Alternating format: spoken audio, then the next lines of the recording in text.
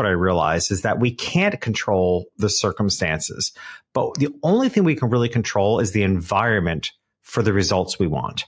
So what I want to help people do and what I do on a daily basis is help people set up the right environment by having the right mindsets, the right business strategies, the right daily habits.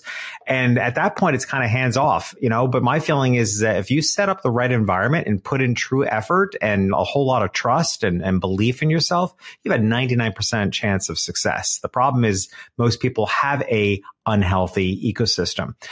It can look in so many different ways. I mean, one of the common phrases I hear people, and I'm sure some of your listeners will identify to, identify with this. Sometimes people will say, "I'm a hot mess." Okay, I hear that a lot. People say, "I feel like I'm all over the place," or "I feel like I'm doing all the right things, but it hasn't come together right." Those are all symptoms and indicators that there's something off in your business that hasn't been presented